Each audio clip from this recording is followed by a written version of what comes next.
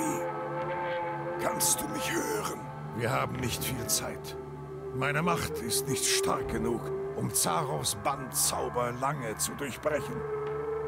Er hat dich in den ersten Baum gebannt.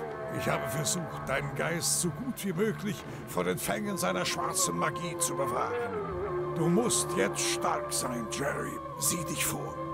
Zarovs Geisternägel haben die Seele des ersten Baumes verdunkelt. In seinem magischen Holz müssten auch andere gefangen sein. Suche sie. Gib dich nicht der Furcht hin, Jerry. Du darfst nicht aufgeben. Darfst nicht aufgeben. Nicht aufgeben. Aufgeben. Du musst aufgeben. Du musst aufgeben.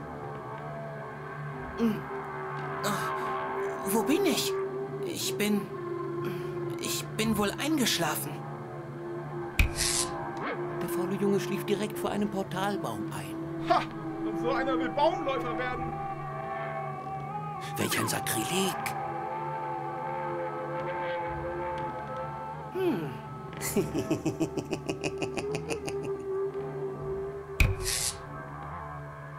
Plato! Tut mir leid, aber mein Freund Jerry braucht wieder Hilfe. Ich habe keine Zeit für Fremde. Fremde? Aber ich bin doch Jerry. Er glaubt, die Pappfigur bin ich. Und an mich erinnert er sich gar nicht.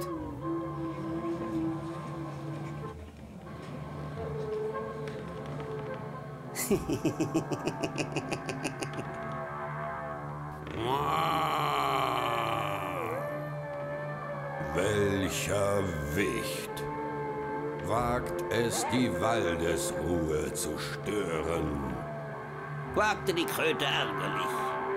Sie mochte es ganz und gar nicht, wenn man sie weckte. Ist ja die riesige Kröte aus unserem Wald.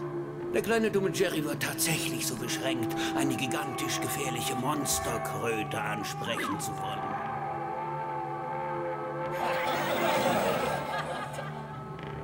Ich sollte sie mal ansprechen. Vielleicht weiß sie ja, wie ich hier rauskomme. Eine sehr gute Idee.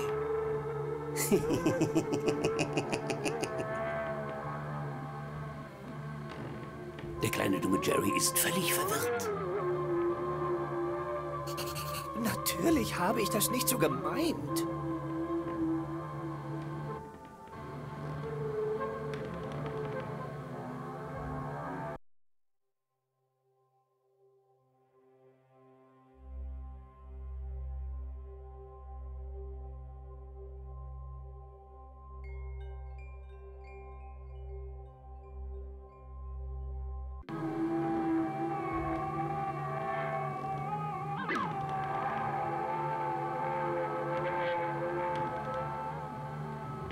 Freunde müssen Der einander kleine dumme. Jerry hatte noch nie so spitze Dornen gesehen.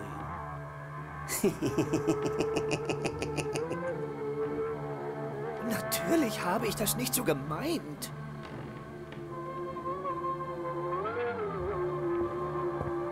Die Dornenbüsche sind im Weg. Der kleine dumme Jerry hatte noch nie so spitze Dornen gesehen. Ihre Spitzigkeit machten dem ohnehin schon feigen Jungen eine Heidenangst. Oh, Spitzigkeit? Nein, der Dornenbusch hat zu spitze Dornen.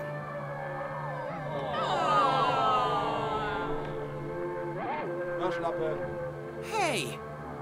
Komm doch hoch und schlag du dich durchs Gestrüpp. Ha, wusste ich's doch.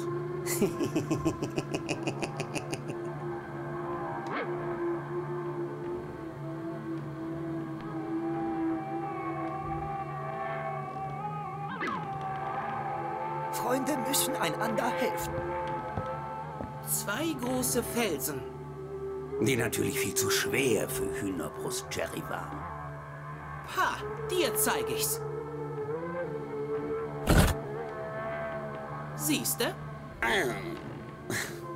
Mama hatte recht. Die Milch macht's. Was ist denn das? Das sieht ja aus wie ein Skript. Im Bann des Zarow, erster Akt. Der kleine dumme Jerry? Ich bin doch nicht dumm. Gehasst von allen Waldbewohnern. Nein, das ist nicht wahr. Immer nur am Nerven und Schnorren. gar nicht. Endlich zertrampelt von der bösen Felsenkröte. Wer, wer schreibt denn sowas Gemeines?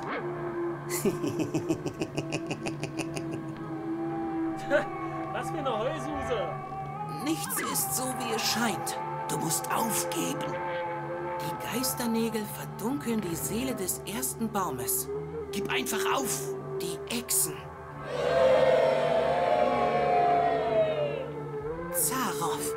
Hurra für Tarov!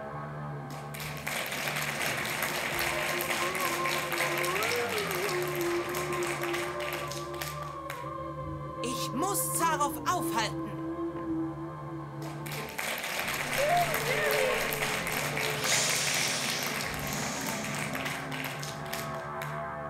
Verdammt!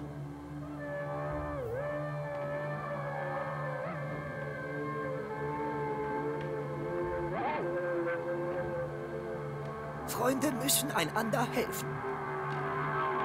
Das ist doch... Jerry ignorierte den unscheinbaren und völlig unwichtigen Nagel. Der böse Geisternagel, von dem der alte Magier sprach. Die Felsenkröte ist im Weg. Ich muss mir was einfallen lassen. Natürlich habe ich das nicht so gemeint.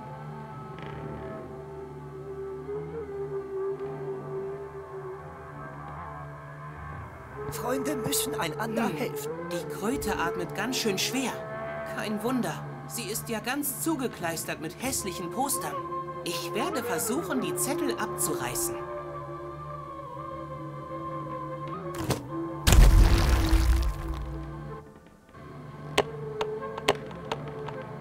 Ich werde dich zerquetschen.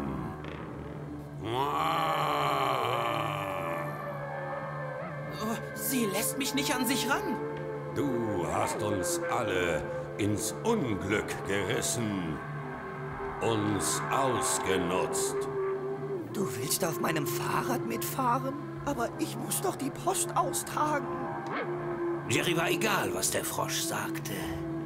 Denn er war zu faul zum Laufen. Was? Aber so war das doch gar nicht.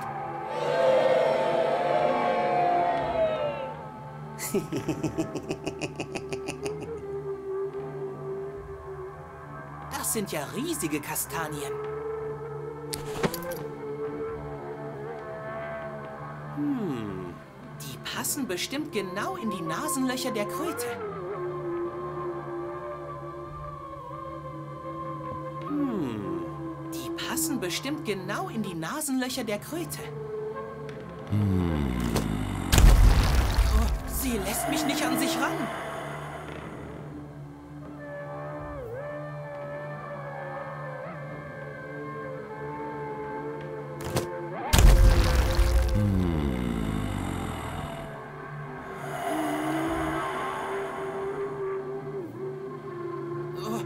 Lässt mich nicht.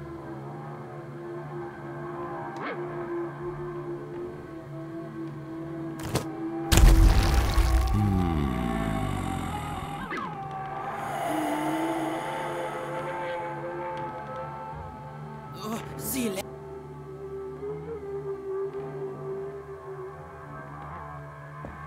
Der dumme Junge hatte wohl zu viel Zeit.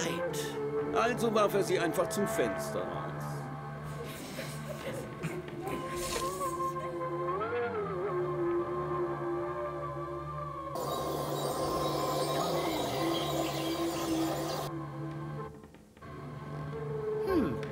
der Schalter wohl macht? Er macht Licht. Wie überraschend.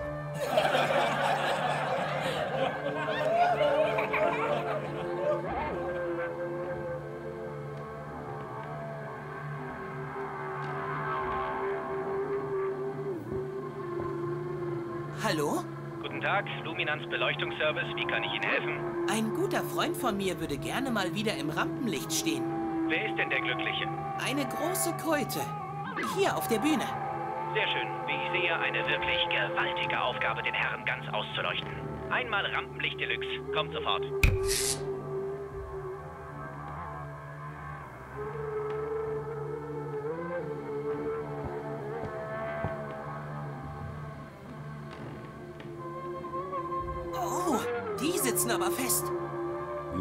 Deine Hände von mir, Mensch. Ah. Die sitzen zu fest. Ich muss mir was anderes überlegen. Ein Wunder, dass die Kröte überhaupt atmen kann. Mit den Zetteln an den Nasenlöchern. Die Poster sind echt grässlich. Sagte der dumme Junge, der sein Weltraum-Oktopus-Bild aus der ersten Klasse für ganz große Kunst Hey, ich habe eine 4 Minus darauf bekommen.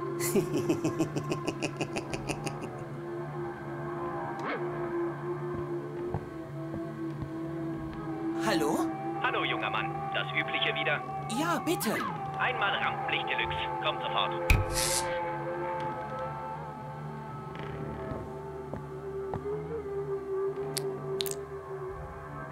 Oh oh. Die Kastanien sind ihr ganz schön tief in die Nasenlöcher gerutscht. Nimm deine Hände von mir, Mensch. Ich.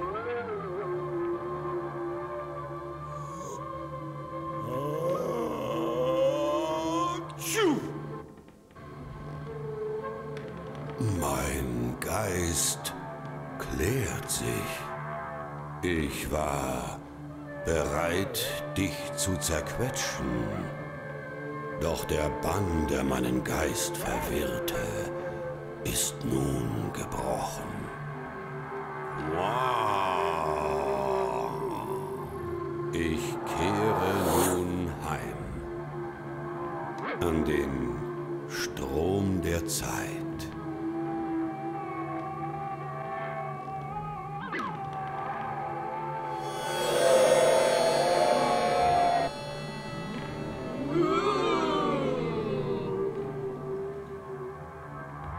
Ist euch das nicht gut genug?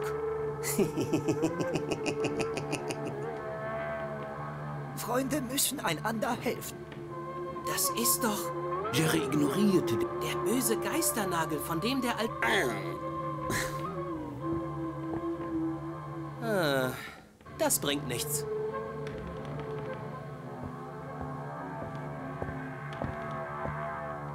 Hallo? Hallo, junger Mann. Das Übliche wieder? Ja, bitte. Einmal Rampenlicht Deluxe. Kommt sofort.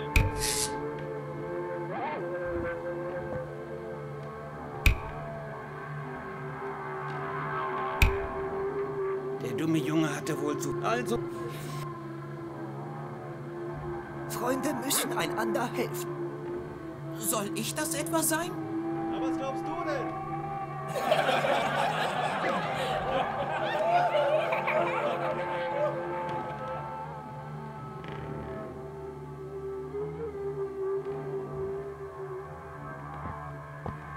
Natürlich habe ich das nicht so gemeint. ist alles in Ordnung? Tut mir leid, aber mein Freund Jerry braucht wieder Hilfe. Ich habe keine Zeit für Fremde. Fremde? Aber ich bin doch Jerry. Jerry war egal, was der Frosch sagte. Denn er war zu faul zum Laufen. Was sagst du, Jerry? Du willst mein Fahrrad ausleihen? Aber ich muss doch die Post austragen. Jerry war egal, was der Frosch sagte. Er würde sich das Fahrrad einfach nehmen, wenn sein Freund schlief. Er glaubt, die Pappfigur bin ich. Und an mich erinnert er sich gar nicht.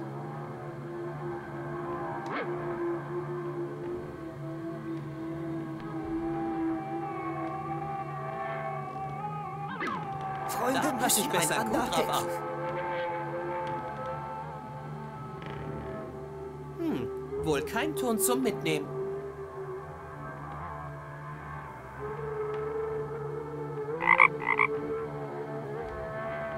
Jerry, wo warst du denn? Wo ich war? Zuletzt waren wir drei in dem dunklen Tunnel. Und dann... Äh, Hauptsache ist, dass es dir gut geht. das wollte ich auch gerade sagen. Freundschaft entfernt den Nagel? Das glaubt doch keiner.